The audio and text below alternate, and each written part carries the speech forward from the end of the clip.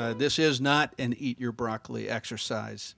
This is really exciting stuff, and we have a tremendous opportunity to make a difference in hundreds of thousands and millions of children's lives. As a nation, we are on the cusp of making a big radical transformation in our country. I really do feel that we're not at the tipping point yet, but I think we're not too far from it if and only if people like you hold people like me accountable to do this work. It's all about accountability and it's about creating systems that promote accountability and promote teachers being the best they can be. And I think the new normal is a new culture in education. We have this culture in education that says we're going to create a new set of circumstances in 2011 and then we're going to leave that alone for 50 years. Because that's what we've done. And the new culture, the new normal should be that whatever we do in 2011, that should become the status quo that we challenge in 2012. And that is a tremendously different culture than education has ever had in the past.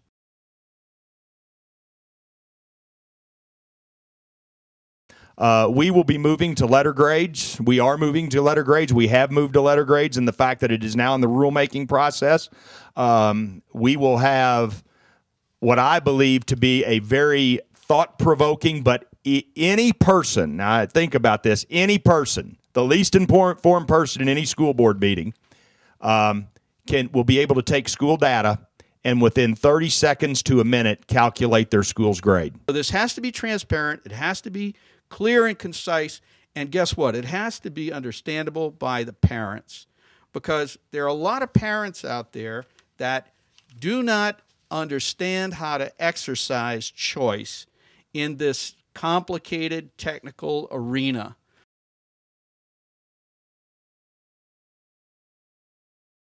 I think it's it's deplorable that we lie to children. I think it's deplorable that we say that a third grader can go to fourth grade and we know that our system never catches those children up. So we have to have a lot of courage here and we have to quit lying to children. We have to start holding folks accountable to make sure children are literate when they leave third grade. Now, you have to have a, a strategy that deals with retention, and you can't have a bad retention strategy. So, coupled with no social promotion, must be a very sophisticated retention approach, which doesn't uh, uh, put kids in a in a no growth zone in a in a no graduation zone. The research does really show that the way teachers are compensated isn't strategic, that years of experience and sort of credentials or master's degree are often uh, unlikely to influence their effect on student achievement. And pensions are structured for teachers. We're doing a little bit of research at this at Joyce, including in, in Indiana with a couple top researchers.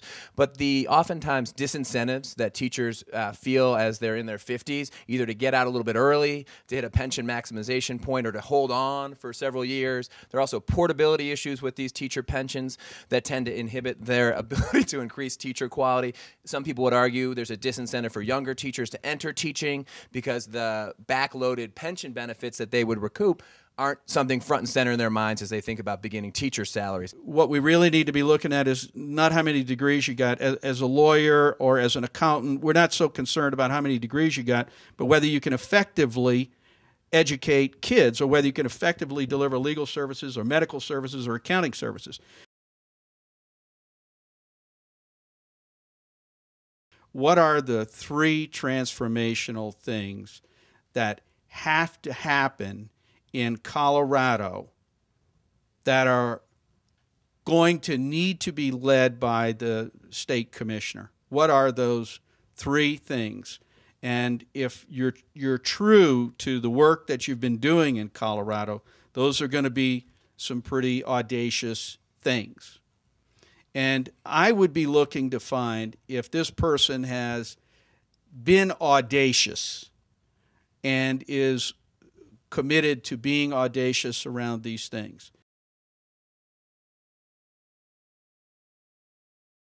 It is not time to slow down. It's time to pick up the pace because the human capital reform issue is just one of the reform issues that have to be done in tandem with other issues. And unless you get a number of these reform issues moving, you'll ultimately get backsliding. You can't solve this mess by simply passing a teacher quality bill, an accountability bill, or a flexibility bill that addresses collective bargaining. You have to do them all. As Paul says, busting up the system, and you can't bust up the system by taking a step, taking a breath for a couple years, taking another step, and taking a breath for a couple years.